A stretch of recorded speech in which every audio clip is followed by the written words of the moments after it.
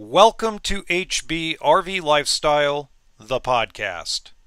I am the host, the Honey Badger, here to give it to you straight and transparent about the RV business, as well as other things.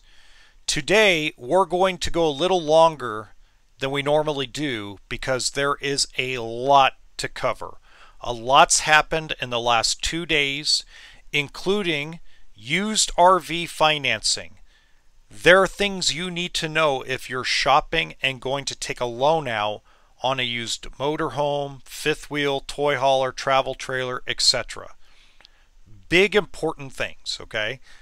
Uh, the next thing we're going to cover is I really want to cover uh, recalls. I'm really pissed off with Forest River right now. I sell two of the products that are on the recall list, and it's ridiculous what's going on. And and I'm going to get fired up when it comes to that segment. So let me give you guys fair warning. There's going to be cussing and passion in this episode.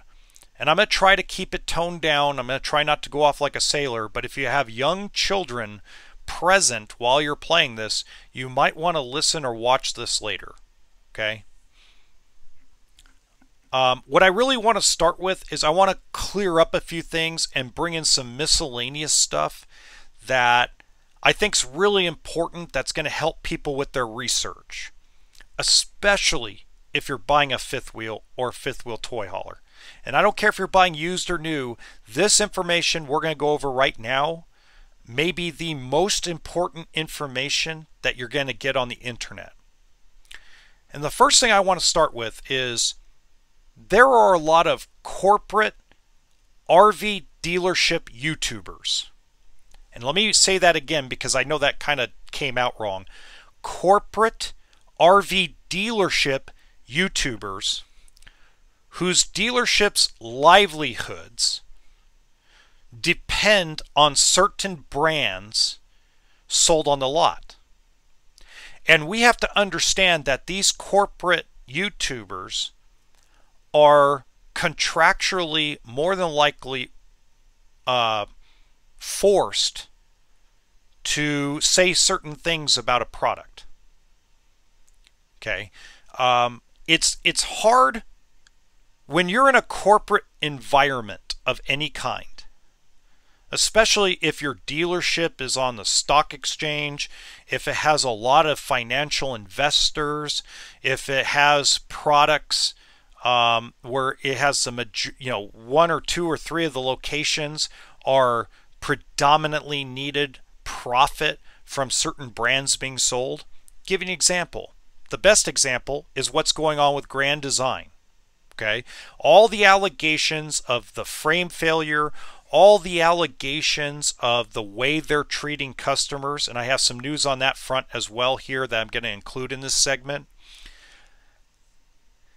And let's say that your dealership, or let's say your corporate RV dealership has 20, 25 locations, and 18 of them depend on the sale of Grand Design fifth wheels.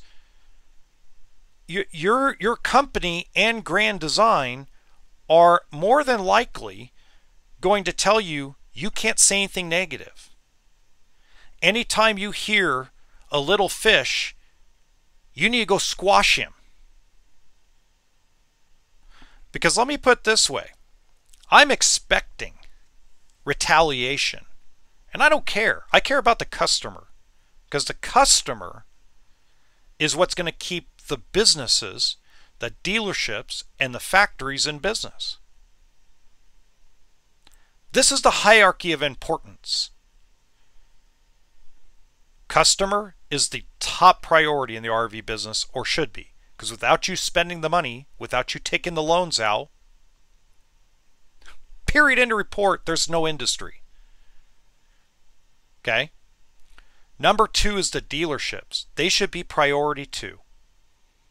Because without them, without their ability to service things, without them dealing with the customer face to face like we have to on a daily basis, especially when things go wrong, we are the second backbone of this industry because if we just tell you pound sand, go call the factory, You're not going to buy anything. You want to be, feel like you're being taken care of and protected by the folks that you're purchasing it from.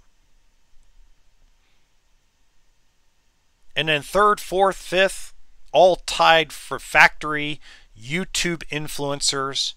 And no offense to these guys, no offense to anybody, including myself. We don't matter. The YouTubers, we don't matter. If you're a corporate RV dealership YouTuber and you think you're above everybody else, you need to go look in the mirror, man. Or lady. You need to go look at yourself in the mirror and knock yourself down a few pegs. Especially if you claim that you're the most transparent person in the industry. You should see half the emails and comments I get. Like, finally, a guy actually is talking about the real stuff, not everything's so gorgeous and beautiful. So, I, I want to go over some history things, okay? And I want everybody to follow through with this. First of all, you have Jayco. Jayco was bought out by Thor Industries, but if you look at the way Jayco operates, they still operate the same way they operated before the family sold it. You have a lot of the same key team members at Jayco. It, it's still very well oiled machine, and their customer service is, is amazing. I'm not jealous I don't sell them, but it would be really nice to sell them one day. I sold them used. I've sold them very much. I, that's all I have is sold them used. But Jayco has done an excellent job. Now, do they get it right every time?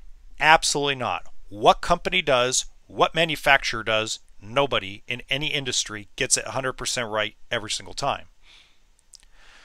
But I've been talking with a gentleman, and I'm pretty sure he's going to listen to this, that him and I have been communicating back and forth about his uh, Jayco seismic fifth wheel. He has frame failure on that coach. Jayco has been nothing, at least in his mind, been nothing but communicative. He has not felt dismissed. He has not felt like he's not getting help. Complete opposite of the allegations I get from customers about Grand Design. Okay? And I'm uh, there's a point to this, so bear with me, okay? So, you know, and he's in a complicated situation. Now, the other part of that situation I want everybody to realize is the dealerships he's working with to get out of the rig along with Jayco, okay? The dealerships don't want anything to do with the trade because of the frame failure. Okay, this is what I was talking about. Liz Amazing, okay, did a pretty cool video. I'm going to talk about that as we go along. But she even said that some of the dealer people she's talked to don't even want a Grand Design Momentum or Solitude in trade right now because there's too much liability. Okay, I already gave that information to you guys. I'll say it again. A lot of dealers are quietly and it's a very silent thing. I can get you can refute me all you want. If you're a corporate RV dealership YouTuber and you sell Grand Design products, you don't have a leg to stand on right now. You need to be quiet when it comes to this comment because you don't know. Because no one's going to tell you. They tell me because they trust me. Dealerships that do not sell Grand Design products are worried about this frame problem because of the way it's been handled. Allegedly. Okay. Now, let's go step take a step back for a second. Okay. The step back for a second is let's look at some history. Keystone RV. 1996 starts the selling process in 2000 completes the sale in 2001 to Thor Industries. Okay. Grand Design RV starts in 2012, completes the sale to Winnebago in 2016. That was less than four years. F four years, three and a half. Okay. There was a boat company, and I'm going to look at. Uh, um, There's another company, Barletta Pontoon Boats. Bought out by Winnebago.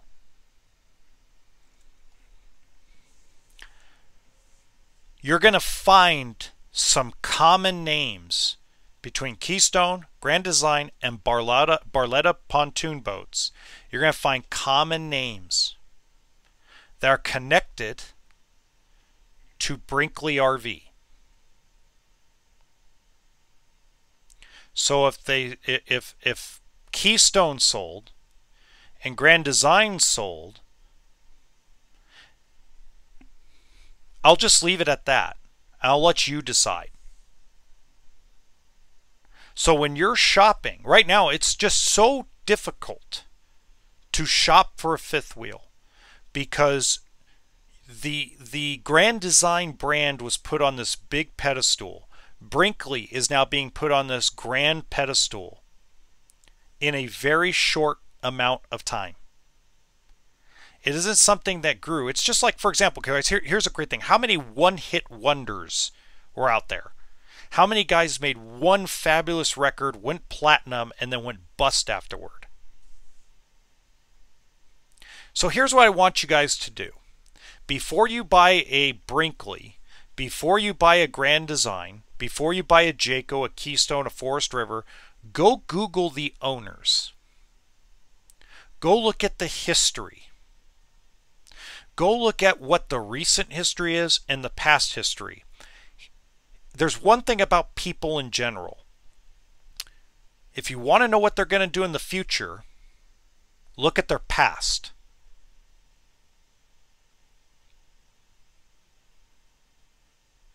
So if you're a, uh, again, I'm going to say this again. I know it's a little repetitive and beaten over the head, but if you're a corporate RV dealership YouTuber and your company depends on the sale of Grand Design RV or Brinkley RV, you should have absolutely nothing to say unless you want the transparency part of it.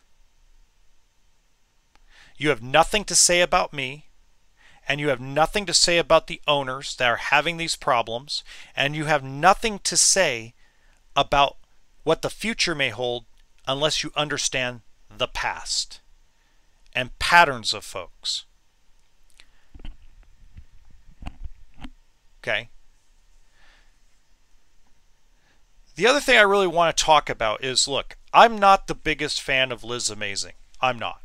Okay it's not because I don't think she's she's a necessity. I do think that what she wants to provide and where she's at is a necessity. What my opinion about things, hey, I'm on the fence. I don't like her style, but I love the fact that she's a capitalist and I love the fact that she's going getting her bag of money from YouTube. And you know the two go hand in hand. You you, you got to be appreciative of it. And that's not talking crap. That's actual like appreciation for what's going on if i had 110000 subscribers and i was making 30 40 grand a month in ad revenue because that's roughly what you start getting at that level okay i would straight out like i would do videos every single day no i'm just joking but I'll tell you one thing, I wouldn't have this headset. I would have like I'd be a little more professional about things. Okay, I'd probably hire a crew to help me out with this podcast and everything. But that's set aside. Okay, her last video, her latest video she did is a seven minute video. I love the first five minutes. The first five minutes to me was the best content she has done in a long time. And I'm very appreciative of her mentioning the same things I've been mentioning for a while about how the fear level from dealerships is increasing about you know trade in values and how to evaluate a momentum or a solitude that was built after 2017 it's so hard because you know to piggyback on what she said and to kind of give more context in what she said it's not that they're afraid they can't sell them it's the liability of selling them okay? So I'll give you an example. Let's say by the time this is all said and done that we're going to use a random number we're going to use the number 10,000 okay we don't know what the real number is but let's say it's 10,000 momentums, and 10,000 solitudes that have frame failure. Okay? If that's the case, that's a lot of fifth wheels. And it's it's going to come to a point and come to a head just like it did with Weekend Warrior that if this isn't dealt with properly from their corporate perspective, it, it's it's going to melt your value. Okay? And it's not because of what your coach is worth or what it should be worth or what the lending worth is. It's because they're going to look at it like if this thing snaps going down the road and kills somebody, fuck, that dealership is in deep shit. Okay? You're going to see most of your momentums, most of your solitudes are going to get sold private party. And and here's the thing guys, if you go look at all the state laws in the United States, I'm not sure about provincial law in Canada, but I know that 39 states in California or sorry, not California, in the United States, 39 states in the United States, including California, make dealerships liable for safety issues on used vehicles of any kind boats, power sports stuff, cars. There's only a few real true as is states. Okay. So that puts a lot of liability on the dealerships. And just like with Weekend Warrior back in the day, they'd go, off to the auction. And you'll you, there's a lot of great stories about people who got bought 2009, 2010 Weekend Warrior fifth wheels for like three to five grand at the auction in 2011 and 12.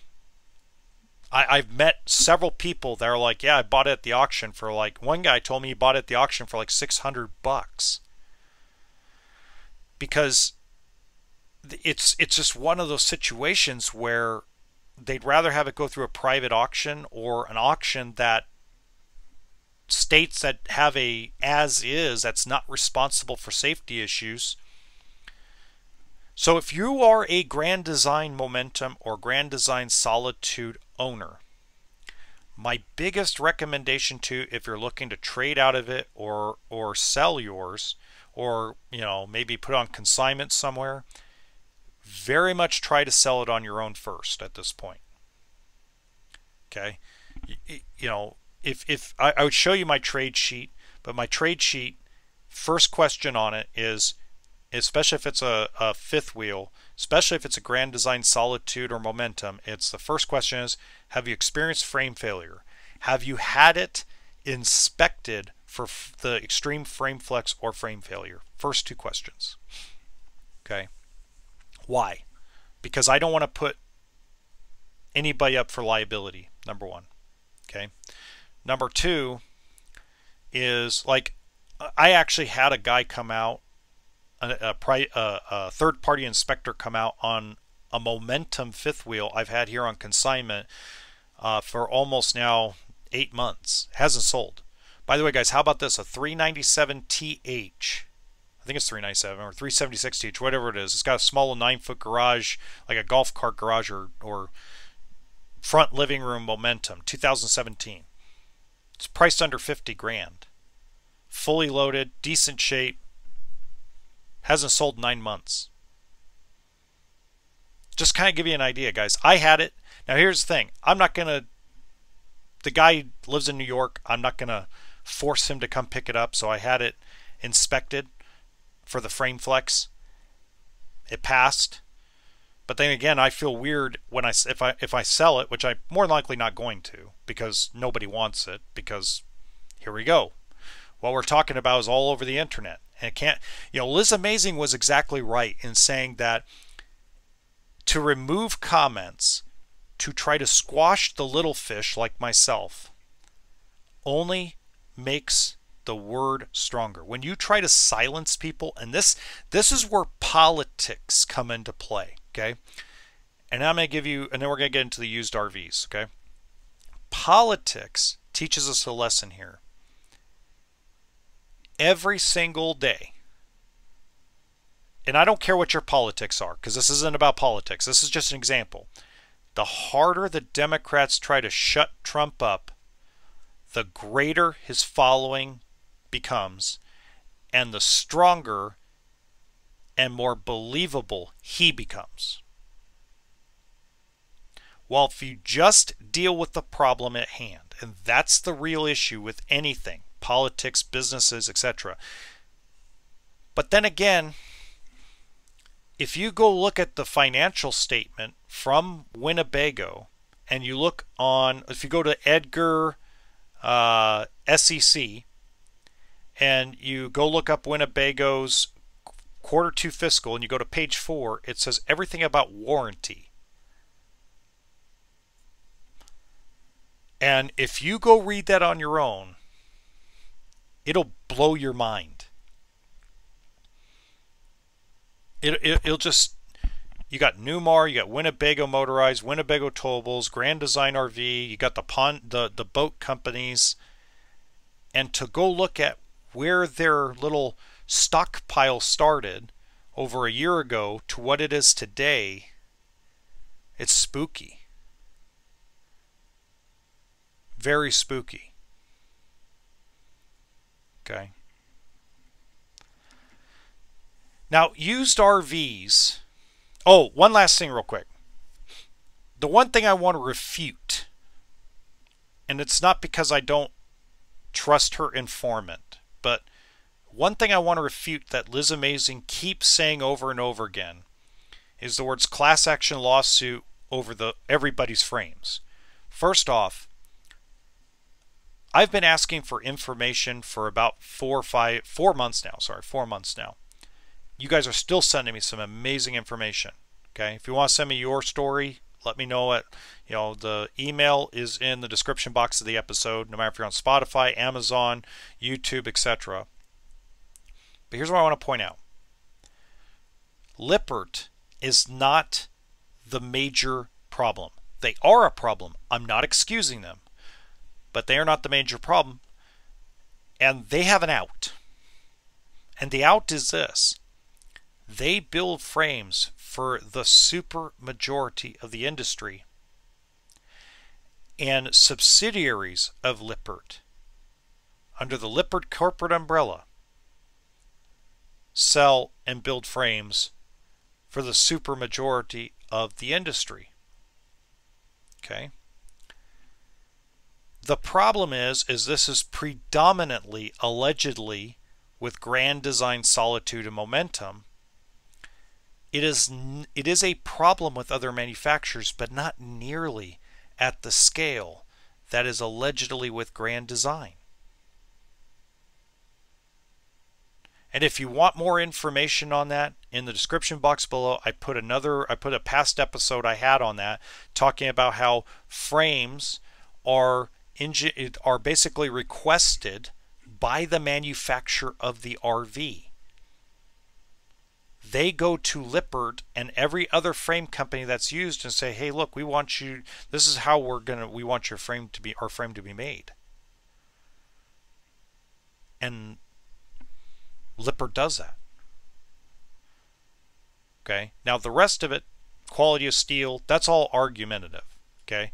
We're not going to get deep into that. What we are going to talk about next is used RV financing. Okay, we've had some big, big problems with used RVs right now because the blending value dropped, and we've already talked about that a lot. Okay, what I what really happened in the last three days is they have changed their programs. Okay, so I'll give you an example. Normally, we can get between a hundred. We we can normally get about a 120% what we call loan to value on a used RV compared to wholesale book. And what I mean by that is not what you see free online, the oh, let me click everything and oh, there's a value. No. That's all bullshit. Okay? That's all bullshit.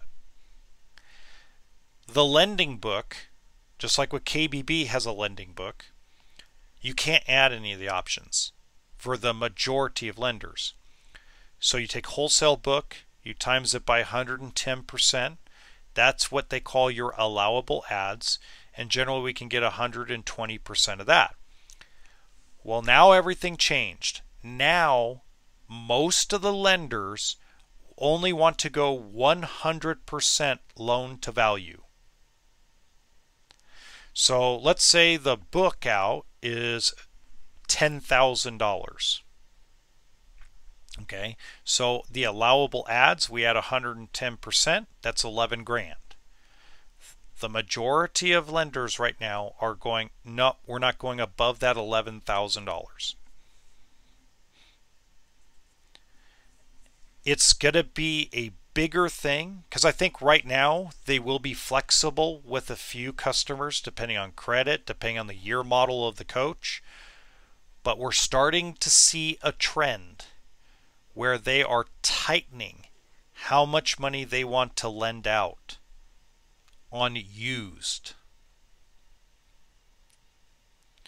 And especially, here's the big thing most used RVs, okay, watch this, most used RVs that people are buying are 8 to 10 years old right now because price and affordability. And the older the unit is, the stricter they're getting about how much they're going to let you borrow. Now, this affects mainly the sellers, so mainly your private party sellers and your dealerships.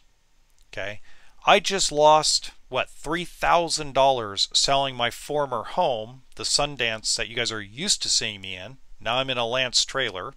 Yeah, baby. Nice. I love this Lance trailer. Anyway, uh, I lost $3,000 selling it because the book dropped so bad. And now it, the, these people had good credit, really good credit. It's a 2021. And they're like, nope, we're not going to let you borrow more than 100 100% of the wholesale value. And I think what's happening I can't. I haven't confirmed it yet because I gotta still talk to some of the banks, um, and most people are in and out with that total eclipse that's going on, and you got a bunch of other things like spring break for some of these folks uh, uh, just started happening. People went on vacation for Easter weekend or Easter week, and you know aren't quite settled back in. But as soon as I find out, I'll find out. But I think the repo rate went up.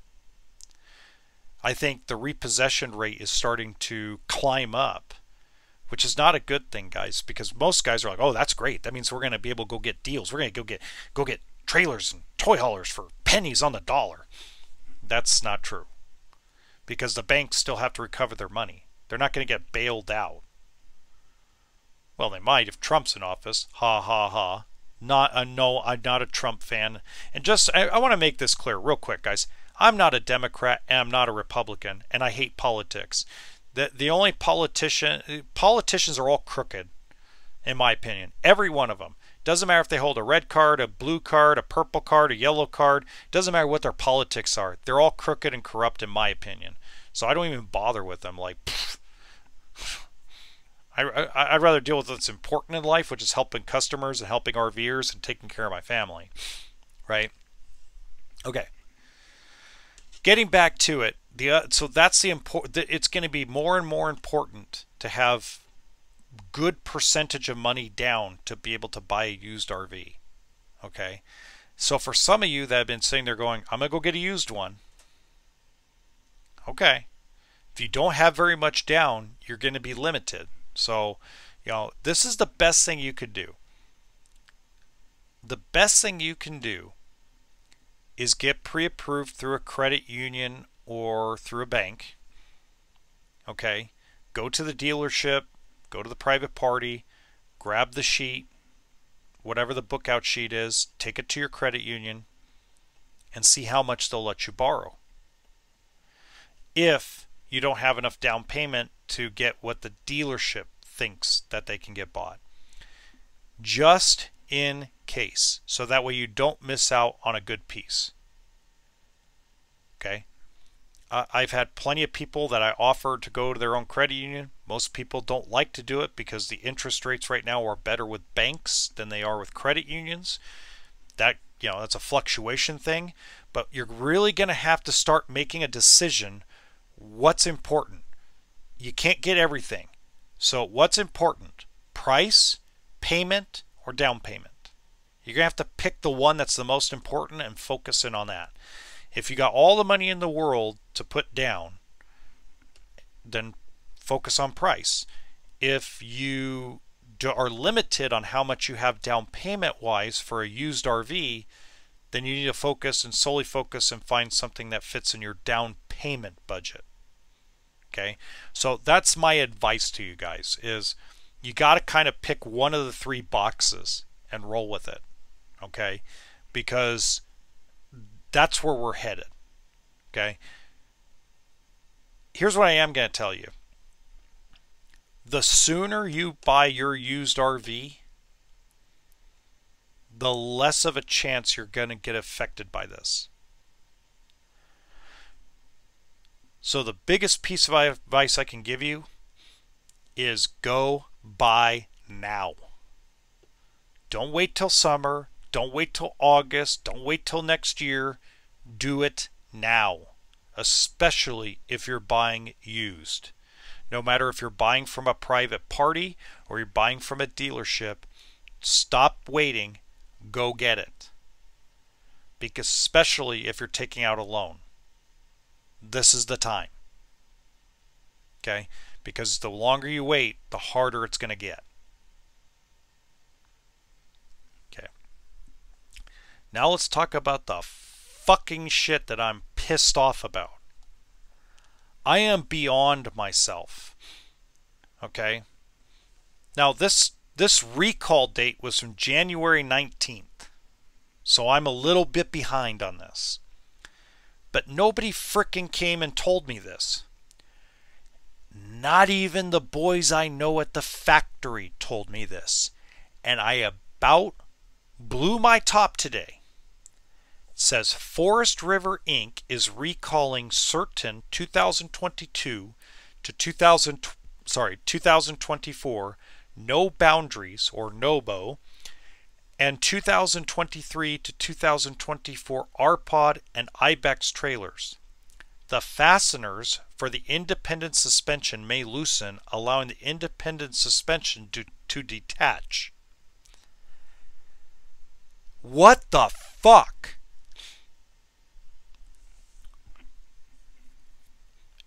And you Forest River boys that watch and listen to my podcasts, I can't believe you didn't share this with me. Are you afraid I was going to put on my podcast? You afraid I wasn't going to find out? I sell R-Pod. I sell Ibexes. But see, here's the difference. I've been saying when they came out with this beast mode package, I told every single person that I knew about that that is the stupidest fucking idea on God's green earth. Independent suspension, yes, is a nice little upgrade. But when they're teardrop to middle sized travel trailers, it is a waste of money, in my opinion. The off road suspension trailers that are out there, and there's a lot of them, already dominate the off road market. And the amount of money they're charging dealers for this CURT suspension. Okay? Watch this.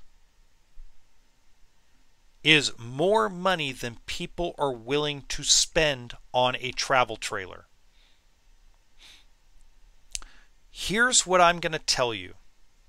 Just to kind of backtrack myself a little bit, because there's people going to be like, oh, independent suspension is perfect. Okay.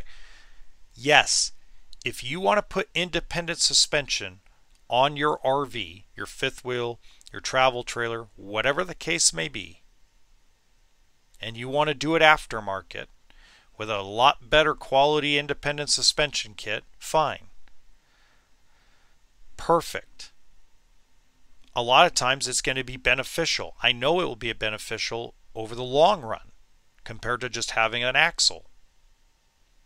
Totally get it.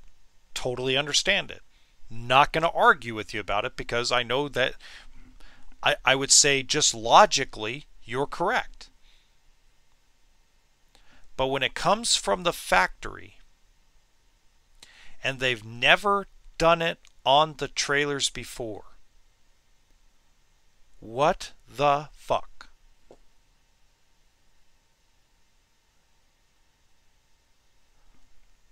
RPod is a teardrop lightweight travel trailer that most people don't go across the country in.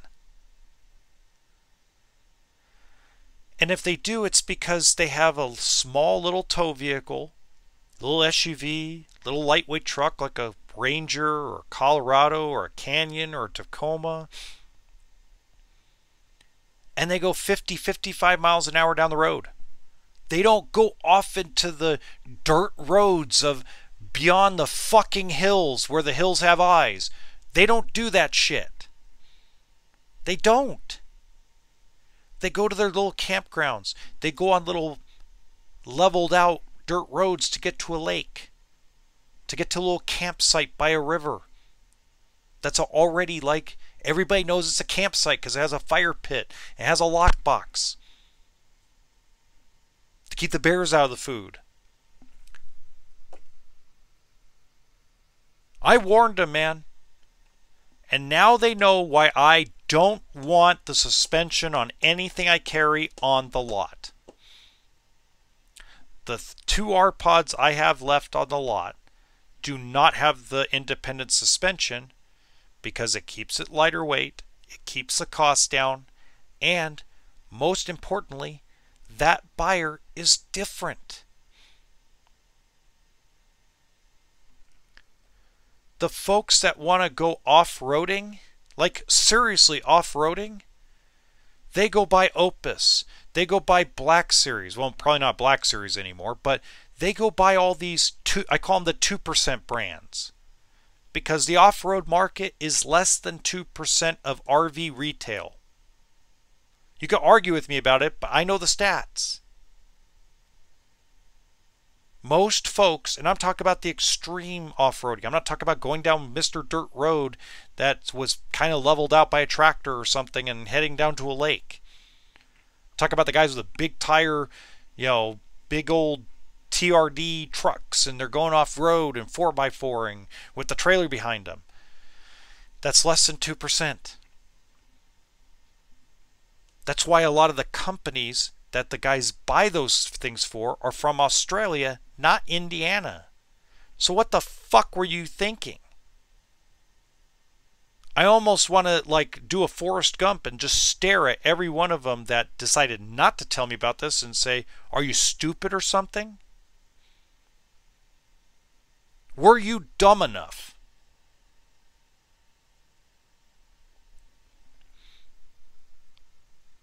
and you wonder why your sales suffer. Because this is stupid. Now, knowing them, knowing Forest River, knowing that division of Forest River, knowing the guy who oversees that division, it'll get taken care of and it'll be done right. But really? I hope they learn their lesson and stop doing independent suspension on a teardrop travel trailer. It's not necessary. Most of the trailers that we're talking about are less than 3,000 pounds.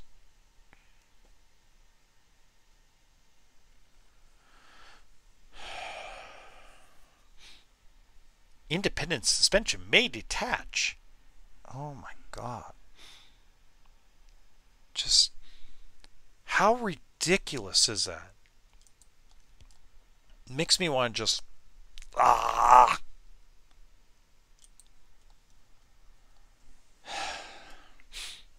Look.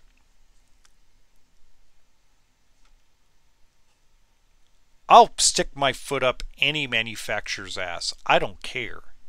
It could be stuff I sell. Just like R-Pod and Ibex. I'll stick I'll shove my foot so far up the rear end they won't see the light of day. Okay? Why?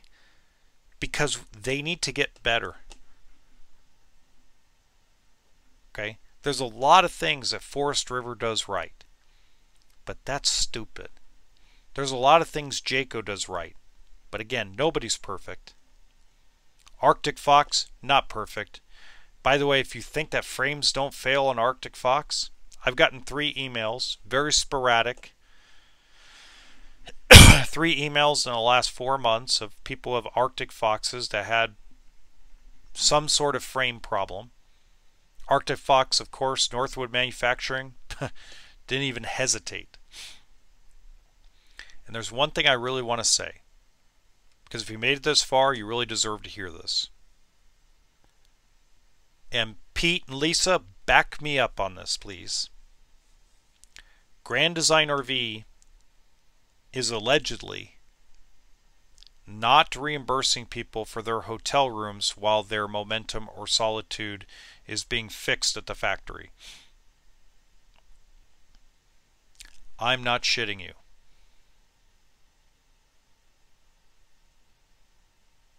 It's it's it's sick. Because I know Forest River, Keystone, Jayco, uh, KZ, Genesis Supreme, Northwood Manufacturing, they would bend over backwards.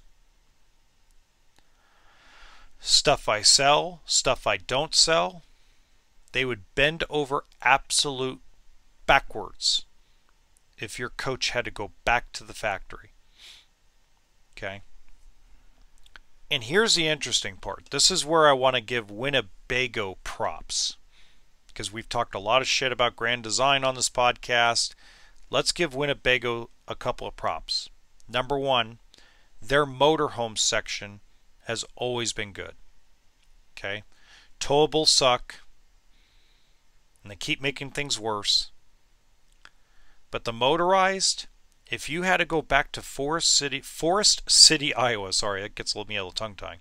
If you had to go back to Forest City, Iowa, to have a major repair done, they put you up for free. Now, even though the hotels in Forest City, Iowa suck, if you didn't want those accommodations, if I remember right, they have like 500 campsites with full hookups. And they'll come out to your coach and repair it mobily at the campground. Now, I don't know if that still holds true, but that was true as of 2019. And I'm pretty sure they wouldn't stop that. See, that's what I'm referring to, guys. That's why I keep telling you that not every brand, not every company is this shitty. Okay? The the only thing I ever disagree with with Crappy RV, and I like him, he's funny as hell. But the only guy the only thing I really ever disagree with him or Liz Amazing or any of these Armageddon level type of complaints is no, even with Grand Design, all the allegations against Grand Design, set them aside for a second. Pretend they don't exist for a moment.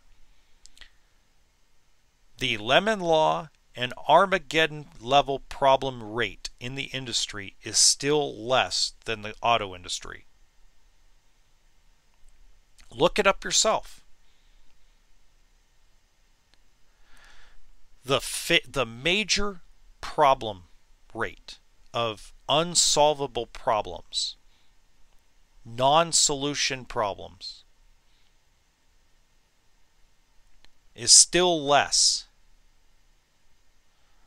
And, and also, you have to understand something because this is something that was mentioned in a few comments in in in different Facebook groups and different YouTube videos.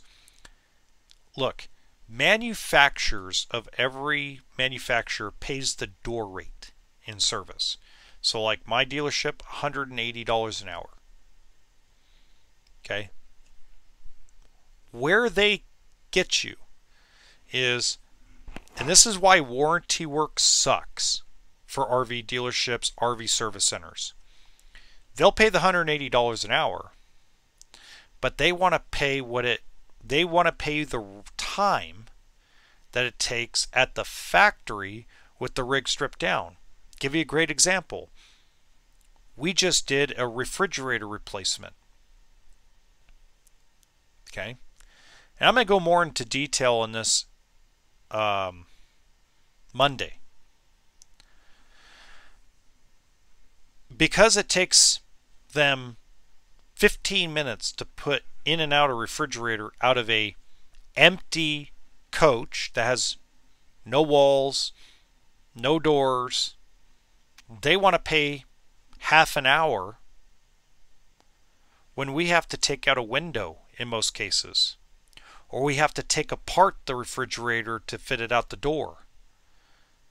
In most cases, to replace a refrigerator and hook it up properly with an assembled RV takes two hours minimum, and they want to pay 30 minutes. That's the reason why. It's not that they don't want to pay the rate, they don't want to pay the time.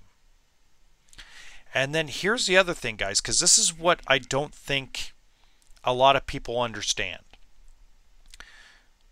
The reason why a lot of West Coast dealerships do not want to do warranty work, if you, so I'll give you an example.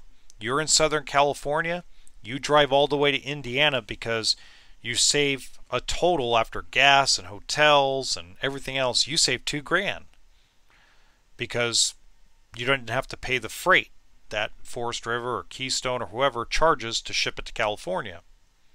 Okay, great, no problem. But the reason why dealerships don't want to service your unit is not because necessarily that we don't get paid well. That's only one portion of it.